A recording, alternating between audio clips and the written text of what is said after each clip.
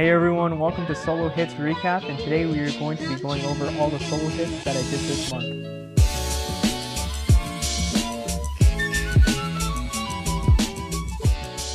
The month we are going to be looking at today is February 2019. This month's focus was hitting higher on the wall. In this video, I'll go over why I learned this shot, the drills I did, what I learned from it, and what you guys should take away. In the last five years or so, I spent most of my time learning how to hit with pace. Overall, I didn't hit as hard as a lot of other people did, so I spent a lot of time working on my technique and learning how to hit harder. Now that I feel more comfortable with the amount of pace I can generate, I started looking for a way to vary and control the pace during a match. Whether I am playing against someone who hits the ball extremely hard or want to keep the pace of the game always changing, having a high shot added to my game would be very beneficial. Lots of juniors or young squash players learn this shot from a really young age, so this is a very fundamental shot for them. I'll go over the three solo hits and then kind of recap of what I learned from it, and then I'll let you know how it's influenced my game so far. So the first drill I did when starting to learn how to hit high was the 4x4 drill. There's four different stages and you have to hit four shots in a row in order to advance to the next stage. I'll cover in another video the 4x4 drill more in depth. Overall, this is a really standard drill and this is actually one of my favorite drills, especially when I'm learning something new.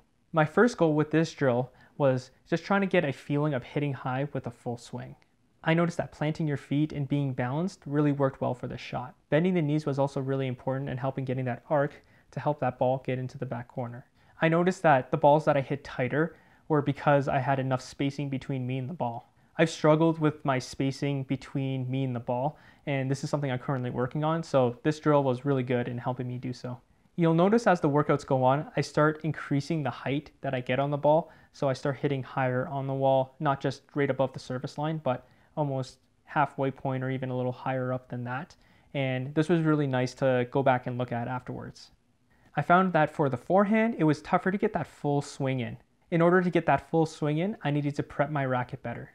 I had a feeling as I was doing this drill that I probably have trouble applying this to my match just due to how loose most of these shots were coming out. In this drill, I pretty much alternated between hitting a hard driving length and a high shot. What I found was that you really start to see the value of hitting the high arcing shot because the next hard shot was usually really hard to hit afterwards. This drill was also very good in getting my feet starting to move a little bit more than the last one, and this moving in and out of a shot helped me get a more of a feel of the ball. Using targets when you're solo hitting is always a really good idea. It gives you something to focus on and it's really fun to hit. This drill felt really nice and I started getting into a little bit of a groove on how it was feeling. Also having targets to hit and hitting them was a really good feeling as well. With the backhand specifically, I found that I could have opened my racket face a little bit more to hopefully create a little bit more arch on it. In this drill, is pretty much just hit between the margins, hitting high shots. You can really see in this drill that consistency is a big problem here. Trying to control the amount of weight on the ball as well as trying to keep it within the margins was actually extremely tough. But I did hit some good shots. This is a good example of when you're learning a shot and you think you're doing well, you're hitting all the shoes, and then you just change the drill a little bit and all of a sudden it kind of all falls apart. But it's all good because at least this shows you what you need to work on and how it's going to kind of look in a game. The other drill I did for this workout was the four straight and then the one high cross. I'm not sure if I'm a huge fan of this drill with the shot I was trying to learn. I spent about half the time just trying to get into a rhythm with the drill and it was actually extremely difficult and it felt very off hitting four shots straight with pace sometimes puts you in a really, really bad position, and it's very hard to cross off that. In my opinion, I think this drill needs a lot of control, which I don't have yet with the high shot. So we're on to the last workout here, and this drill is hitting three hard and then one high. This one took a while to get into the groove of hitting three hard and then switching to a soft high shot. Overall, this whole process of learning how to hit higher on the wall has actually helped me gain a lot more control with my hard shots. This drill is a really good way to see how your high balls bounce because the ball is much warmer, which simulates more like a game of how the shots would come out. Some of these balls were good enough to apply pressure, so I was pretty happy overall with how things are progressing. This next one, I decided to try to change up the range a little bit instead of hitting all from the backcourt. This one was feed before the tee and hit too high after that. I was actually having a lot of difficulties with this one. The angle change and the weight change completely threw off how I was supposed to swing and getting the right feel of everything. It took a little while before it all kind of just felt okay. The change in angle and the weight from being a lot closer to the front of the court made this very difficult. It feels like much more of a control shot hitting it from the mid court, whereas in the back court, it feels more flowy and you're almost hitting like a length off this.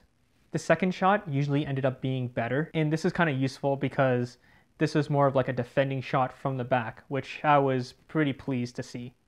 That covers the three solo hits I did to try to learn how to hit higher on the wall. And now I'll go over what this shot has done for me and how I use it in a match. The ability to hit high on the wall has added another element to my game. It gives me another shot that I can hit from the back. It allows me more time to get back to the tee and allows me to change the pace of a game. Now, I'm not totally confident in using this in my match. As you can see from the margins in the front court and the four straight and cross drill, there's a lot of consistency issues with this. In my matches, I would try this shot and sometimes it would work, sometimes it wouldn't, and the balls are usually left pretty open. Overall, about two or three shots that I hit like this ended up pressuring my opponents and actually it helped my driving length, which helped it become a lot tighter, which would actually win me a lot of points. What I really found the value of this shot was when I was recovering from getting pressured. A lot of my recovering shots where I was defending ended up being a lot tighter and it allowed me a lot of time to get back to the tee and get back into the rally. Overall, I think the shot needs a little bit of work. If I was really late to the ball or my stance was off, then I would end up hitting a pretty bad shot in the future, I would probably like to come back to this to work on the, some consistency things, as well as hitting off my off foot as well, with the forehand side especially. Actually, what I also really liked about this shot was that it allowed me time to move back to the tee and even step up to look for the volley. I started winning a lot of points and created a lot of opportunities that I necessarily didn't have when I was just hitting the ball hard all the time. I'm gonna lay out what I learned were the keys to success to hitting high, deep shots. Most of these things are pretty basic, but become even more important when you're trying to learn to hit a nice controlled shot like this. Number one, you gotta plant well and swing fully through the ball. Bending the knees will help create that arc on the ball. And what I've noticed is that it pretty much needs to hit the last quarter of the sidewall in the back in order to be effective. If you're looking to add more patience to your game, more variety of the pace or type of shots you hit, help tightening up your shots, help controlling the overall pace of a match, or looking for improving your defending shots, then I would suggest spending the time to learning how to hit high and just starting to feel it out because you'll start to see some immediate differences right away. I don't think this needs too many more solo hits to get better at this. This is definitely something you could work on while you're playing with other players. I think I would probably need around six more solo hits, so nine in total, to feel more confident and to be able to implement in my game better. Anything less, you'll probably not be able to hit this shot very well, but you'll start to see improvement in a lot of other parts of your game. Thank you guys for watching Solo Hits Recap. I hope you guys enjoyed this month's Solo Hits. And if you guys liked the video, squash that like button, hit the subscribe button and the bell icon so you know when the next video is posted. Let me know in the comments below anything else you guys would like to see and how hitting higher has worked out for you guys.